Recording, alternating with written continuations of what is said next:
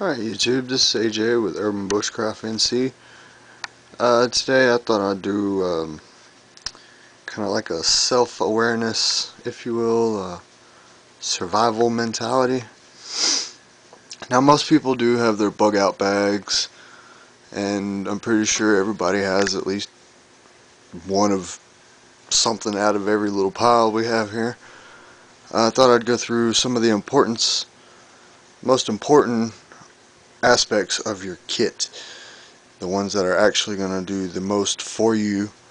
And you know without having to carry a big old duffel bag with you know everything you could possibly need. We're going to cover some of the basics that uh, everybody should have and keep in an accessible area. So um, we'll go through those uh, category at a time first category is fire. And for me that's a that's a big one. You gotta have fire to uh, be able to maintain you know temperatures your body temperature if it's cold outside.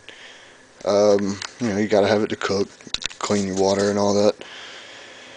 Um, this right here is natural. It's from a uh, poplar. It's the outer bark of a dead poplar. Um, Cedar also works real well. This is a natural occurring fiber. This is something that you're going to be able to find usually time and time again depending on, you know, your climate. If uh, if you're in your climate, then, you know, you can find stuff like this on the on the regular. But if you can't, store will always help you out. Get you a uh, cotton balls cotton balls and Vaseline. Those things will ignite right there with a spark from your magnesium bar. This is my EDC got my magnesium bar in here. We got some waterproof matches a small ferro rod and some more um, cotton balls. This knife goes in conjunction with the magnesium bar this is one of those metal match. You unscrew the top and you strike it down this little ferro rod right here. And this little can contains lighter fluid. When you strike it down this, uh, the spark ignites the lighter fluid. Well, the sparker in here broke on this little little striker here. The the metal that actually strikes the ferro rod broke off. So now I just got a little container of lighter fluid. But uh, I always have, this is my ferro rod for my EDC. I carry this everywhere pretty much. I mean, anywhere that my vehicle or my pack, my vehicle's always in my pack, but you know, or my pack's always in my vehicle. That'd be a hellacious pack, wouldn't it? Um, I always have this with my Condor This is a Condor Jungle Bowie. This is one of my favorite knives. It's a it's a big a big blade, but it has a good edge for fine carvings. Um, it's high carbon steel, so it takes the edge real good. Let's see, Condor. It's made in El Salvador. These this is a good knife. Um, it's full tang can beat on it real hard. That's a good one to have. Like I said, this is the main part of my EDC. And As you can see here, we got uh, inner tube Ranger bands. Um, Dave Canterbury. It's a great idea. I don't know if that was his idea or not, but that's where I got it from.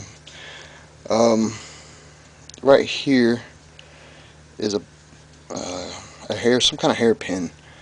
It's got a 30 pound spider wire on it. And here is a can opener. Being in an urban environment, I'm more likely to run across a can than, you know, needing an arrow point. Uh, I got my mini fishing kit, a couple ranger bands, some hot glue, because I do uh, do practice archery, I do bow hunt, stuff like that. I got uh, an awl made out of a uh, made out of an 8 penny nail. Got my needle. for sewing. Uh, in case anything happened, I usually wear this around my neck. I got my striker here in case for some reason I lose my knife. But I always carry my Mora. That's my backup. It's always around my neck. Here I have a preset, um, a pre-made fishing line with 30 pound spider wire. That's a couple of weights and the hooks on top of it. Wrapped it up with some black tape to keep it all secure. Um, you can see there I have some more uh, spider wire wrapped with black tape. Um, that's just regular brown electrical tape for you know uh, band-aids or whatnot and there's some more black tape like I said those are my EDC and around here we do have you know a good amount of ponds and streams and creeks and whatnot to fish in so I always got some kind of food um, food procurement devices in place um, they can also be used you know, out of water. Um, you can use them to snag animals instead of hooking a fish in the mouth. You can hook it in the skin, you know, and worst case scenario, and have it there waiting for you. You know, if it didn't break the line, chew its way off, etc., etc. That would be one way to adapt this to an urban environment. You know, maybe catch rats, cats, anything like that.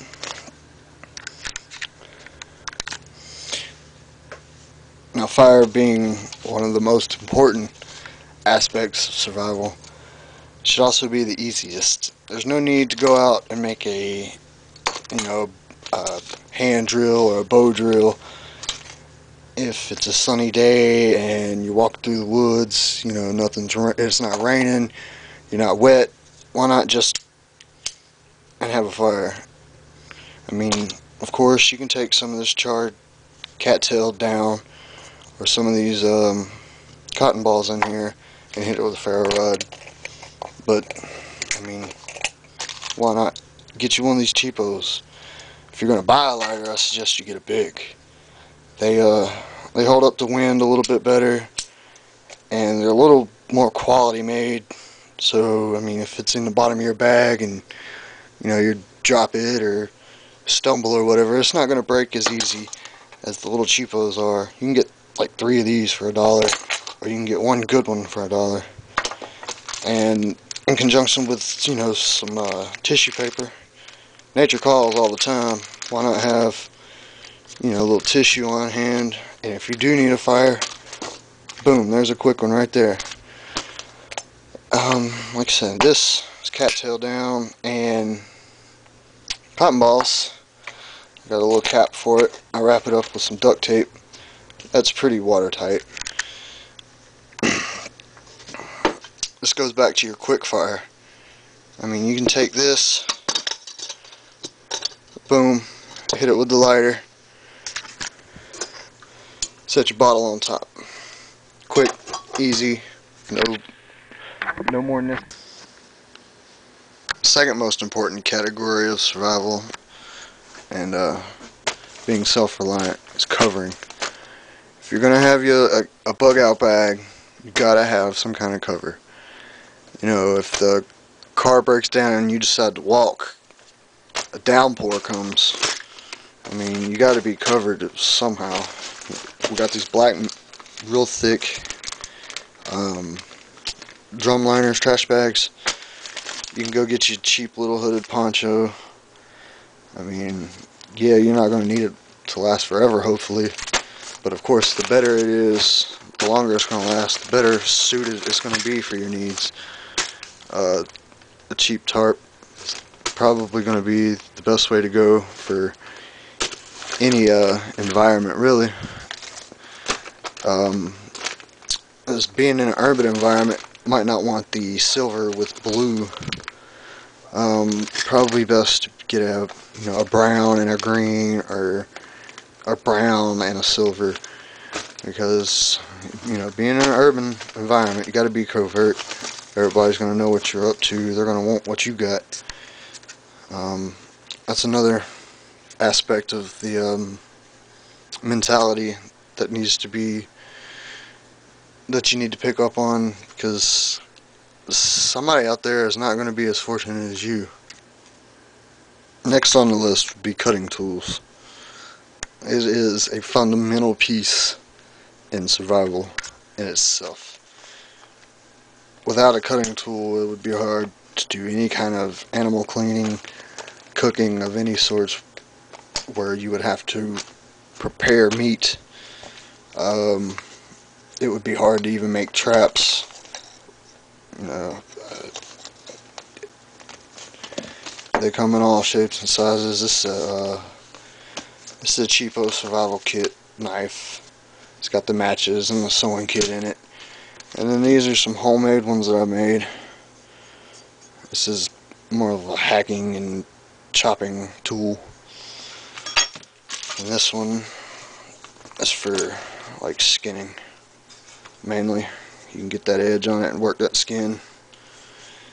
Uh, but it's also a really comfortable knife for uh, like shaving down, making um, fire sticks. Um, now this right here is probably a little bit overkill. Unless it's like the zombie apocalypse or something. Then yeah, that would be a good one to have.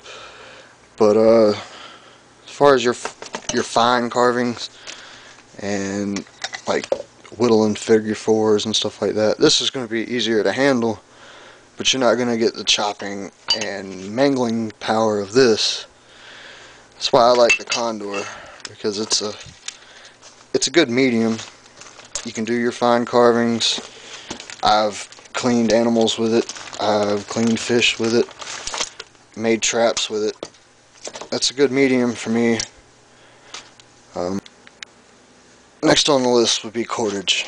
Um, you know, right offhand, everybody everybody loves their paracord, but uh, it can get a little costly and you know you might not need all that tensile strength you know for your shelter building or you, know say you just needed to lash together a tripod or something. Why waste your 550 when you can go get this uh, mason's line? I mean you can get a roll like this for like two dollars. It's it's got about that much on it probably. But I mean two dollars compared to oh, what is this? Like, uh, this about seven dollars for like 25 feet. So I mean, if 25 feet, yeah, you can break it down. You got seven strands, etc., etc. But why waste your money? Save this for something you know. You could double it up for rappelling or heavy loads, something like that, and just use this for your light loads. Um, the bank line, that's this is always great to have. I mean, it's inexpensive. This you can get the thick stuff, or you can get some thin stuff. Um, they both have their individual bests. I like carrying the thin stuff. It comes in a smaller roll. Last, well, not necessarily last, but uh, definitely the best. Uh, containers containers are the hardest to procure in a self-reliance situation in the wilderness, but not necessarily as hard in an urban environment. I mean, for instance, tin cans, duh, they come in all different shapes and sizes. Um, everything from a gallon to a pint. Um, aluminum beer bottles. I mean, they're they're flimsy, but uh, they'll do in a pinch. Personally, the best thing to have is going to be something like the uh, stainless steel Guyot bottle. I mean, this thing, you can't dent it. Well, I mean, you can, but not with your finger. It's it's going to be your best bet. It's a 32 ounce, so automatically there, I mean, you're taking the aspect the resealable bottle. And I mean, that's that's pretty equal in size. But uh, neither one of those or both of those together are still not going to last as long as this. And then, I mean, for five bucks, you can go to Walmart. Yeah, I said Walmart. You can go to Walmart, pick you up one of these little mess kits. Um, you can get the aluminum for five dollars. You can spend the extra five and get a stainless steel one, which is going to last you a lot better. And uh, it's not going to be easy to poke holes in it like this aluminum one. Uh, only thing you got to cook with is your knife.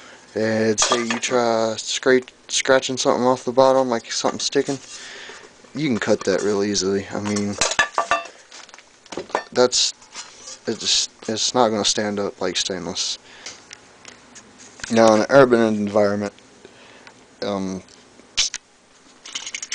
these right here are probably going to be a lifesaver for you.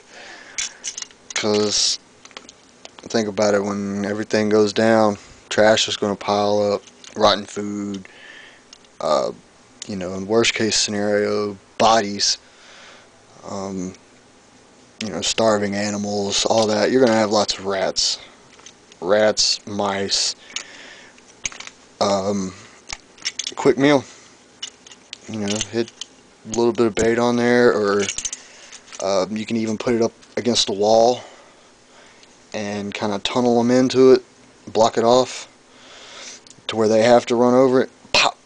You got them as soon as they hit that trigger. Now, if you uh, if you have water nearby, you know, fishing ponds, lakes, streams, rivers, anything like that, these yo-yo fishing reels, they're uh, about two dollars a piece but that's a passive hunting and gathering. I mean, this is going to sit here and work for you while you're off, you know, setting your your rat traps or your snares or whatever. Um, you if you plan on, you know, big game hunting or, you know, stalking and tracking and things like that, a little monocle, that could, uh, that can greatly improve your odds. And you see what you're sneaking up on before it sees you. You know, so you. you here's a few little uh, ideas for the uh, urban environment. If um, you know, SHTF does happen, you know, WROL, um, might need access into some locked buildings, shelter, food, medicine, etc a little um, pry bar could uh, could mean life or death inside an urban situation. Uh, along with a couple other tools, you never know. Get you a Phillips and a flathead. I mean, that could also be a prying surface for you, as well as you know, it might need to take out a car battery and a headlight and make a lamp or something. I mean, urban environment's a little different than uh, wilderness survival. Um, also a flashlight. I mean, unless zombies are out or something in you know you know an environment where you don't want to be seen at night. Of course, you don't use it, but uh, you know, in conjunction with your pry bar at night, you're trying to get in somewhere. Uh, if the power grid's off, uh, that flashlight's a must-have as well as um, some pain relievers, you know, some aspirin, some ibuprofen or something. You're to get tired of walking, and, you know, if you got a, a heavy bag or, you know, inappropriate shoes, anything like that, um, you know, you fall, whatever. Some pain relievers, uh, they don't weigh hardly nothing. Put a house out of that right there. That's a survival kit in itself um, band-aids you can make cordage um, you can put them side by side and tape them long ways and make a sheet if you had to you know some kind of covering um, you can also use it for signaling they got all kinds of bright brilliant colors um, for signaling like if you're on a rooftop signaling a helicopter you know you put you a big X on something. Um, X is like a distress signal. It's uh, it's like an international distress signal. Uh, means you need help or unable to go on, one of the two. And um, so maybe some orange or a bright, bright green, um, pink, yellows, anything like. So once you decide what your kit is going to consist of, of course you're going to need something any bag will do, a grocery bag if, you know, need be. This is just an old medicine bag laying around, or makeup bag or something laying around the house. Um, Got to be mobile with it, so, I mean, keep it, keep it uh, in an area easily accessible. Um, you know, let the family know where it is, if it's more of a bug out bag. Um, make one up for um, individuals in your family if they have special needs or special medications or um, you know breathing treatments or you know if they need dust masks gloves um, stuff like that you can personalize them for individuals in your house um, you know get you a, a get you an old book bag from Goodwill or Walmart or somewhere and uh, write the names on them you know that way you know, hey, this has got so-and-so's medication and breathing treatments, or... Okay, so of course the bag that I found, the zippers were busted on it. So, um, picked up this cheap uh, little backpack from uh, Goodwill. And it snaps in. Um, it's got plenty of storage room in it. You're going to need extra room. Um, for scavenging, you know, food, water, other um, immediate supplies. So this is going to be our urban backpack. And this is it. This is our urban bushcraft bag. Um, everything is fairly inexpensive. Uh, most of it already had laying around because I've been into this thing for a while. But um, yeah, this is AJ for uh, Urban Bushcraft NC. Uh, hope you enjoy it, and I'll see you in the next one.